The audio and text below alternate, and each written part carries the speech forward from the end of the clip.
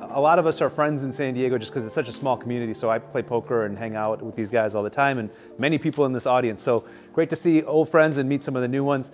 Um, I've been in this business for a long time, since about 2002. I'm here in my capacity as the owner of a construction company, California Home Company. We go by Cal Home Co. You can find us on Instagram at California Home Company and see some of the stuff we're doing. Yeah, I can talk about that a little bit. I mean, I can, we can only speak anecdotally, but yeah, I mean, in the fact that you, you see it on every single listing. ADU potential. Well, that's because every single house has ADU potential. So now you're gonna start seeing listings with SB9 potential, right? Split this 6,000 square foot lot into a two, 3,000 square foot lot to build a bunch more houses. Uh, and, and, you know, I, I follow the market a little closer in Pacific Beach, just up the street, because I live there. And so I see now single family lots that used to sell for 1.1 million, now selling for 2 million. So the short answer is yes. I've seen at least a half dozen houses in the last year where there have been informal agreements between neighbors over years.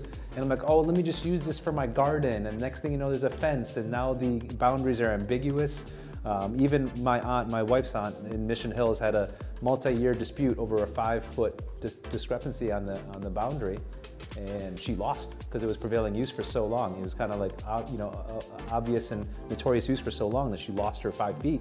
Uh, so it's worth a few thousand dollars to get the survey know exactly where your boundary is because they've got the markers out and they've got the, the things that you can find out, put the flags in and figure it out.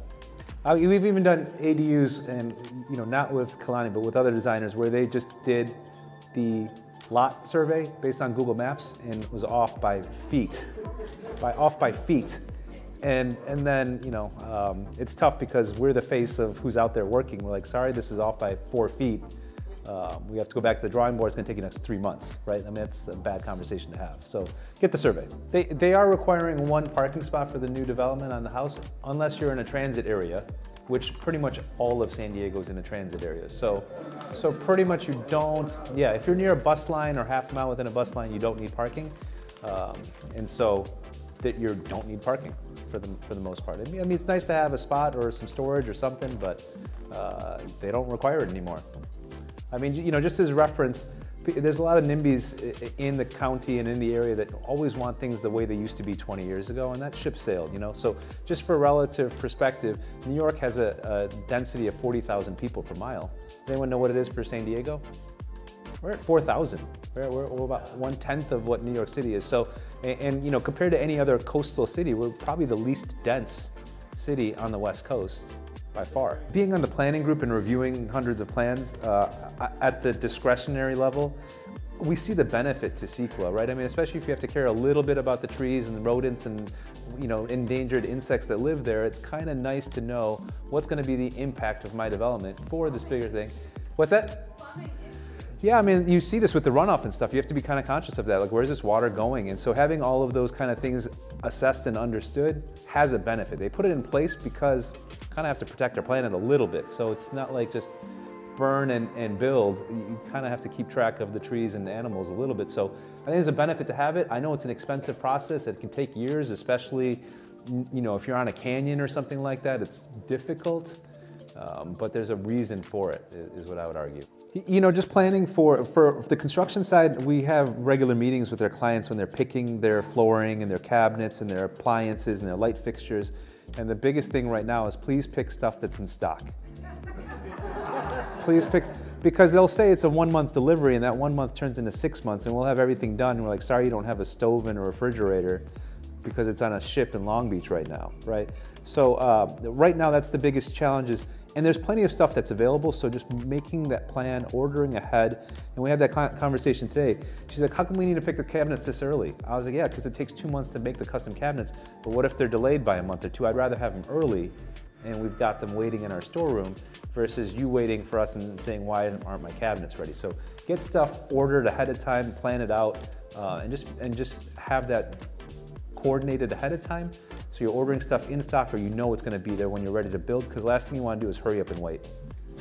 Yeah, we, I mean, I, you kind of see it following the same format as the ADU where they keep loosening it and they, they're, you know, this is one of those things where they kind of soften the blow to all the NIMBY people um, where, where they're saying, no, it's not gonna be that bad. And then they kind of just make it a little bit easier every six to nine months. Because we need housing and we need less regulation. And you keep hearing repeatedly that California is a hard place to build because of all the red tape, and you could build for 40% cheaper just off of red tape in Texas, right? I mean, so that's a big thing. So that's why they're trying to skip the discretionary approval and just get through things ministerial because that adds a lot of cost that we can save. Um, same with the DIF fees. I mean, those are important for the city, but saving uh, you know $11,000 per unit on ADUs, that money's got to come from somewhere. Um, but you know, to encourage building and to encourage affordability, even in Birdland, I saw a house going for $1,000 a foot, right? I mean, so it's it's gotten to where it's already been silly. It just keeps getting sillier. So we have to build more houses to, to bring the pricing, at least slow down the appreciation, right? My argument with people is you can't afford not to start building one right now, right? You can't afford not to because you're not making 12 to 15% on anything else, right? Buying, buying properties, I mean, commercial properties trade at two and a half to four percent. So, I mean, that's because you have to buy the land, and then you're taking on someone else. So, that you know, with the earlier question about the appreciation in lots, people are starting to factor that in. That potential cap rate of building additional units for that land value uh, versus you already own the land, you've got some space in your backyard or above your garage or in your easements. Let's build some units there because that's where it's the most affordable to build and you're building at half or a third of the cost of price per square foot for retail value for purchasing properties in that area.